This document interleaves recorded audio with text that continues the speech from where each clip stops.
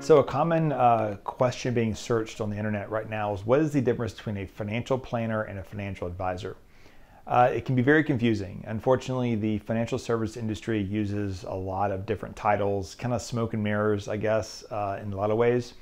But regulatory wise, there's registered representatives of a broker dealer. So a registered rep would be a person at a Merrill or a Wells Fargo or Edward Jones. Uh, then there's investment advisor representatives are of a registered investment advisory firm.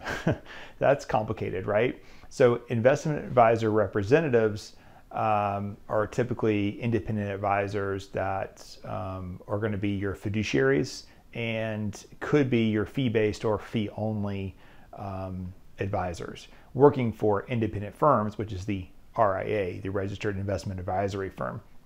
So this is all a little complicated, but that's how um, the SEC and FINRA uh, divide up the titles. So then comes marketing. so marketing can, might call an advisor in either world a financial planner, or it might be a financial advisor, or it could be a wealth advisor, um, or a wealth manager, let's say. Ultimately, it's not the title that's important.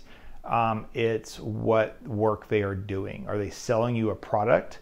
So a registered rep is selling you product. They might say they're a financial planner or a financial advisor and that they are doing financial plans for you.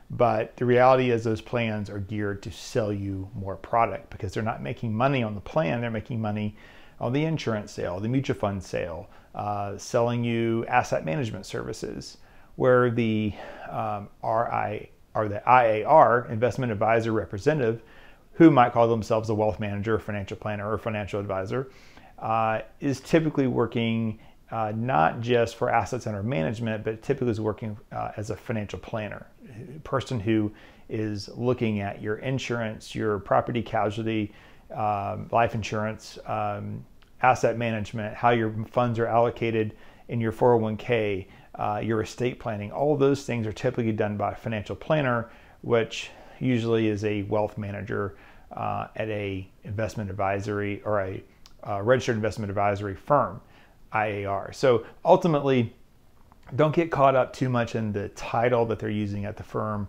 but more so looking at how the firm's structured. Is it a fiduciary firm? Uh, and if it's a fiduciary firm, that's the first check. And then the second check is it fee only? Uh, fee only versus fee based are two very different things. Fee only means they're working your best interest. They sell. They don't sell any product. Fee based means they did a financial plan, most likely as a fiduciary, but then they take off that hat so they can then sell you uh, an insurance product. So that's a little confusing to the market. I don't like the fee based model. Um, I like the fee only model, um, but again, it's you have to go with uh, who you trust, uh, and perhaps um, a company's fee base only because of some legacy assets in the past, and they can't qualify to be fee only. Regardless, though, uh, fiduciary plus fee only is always in your best interest. Thanks for watching.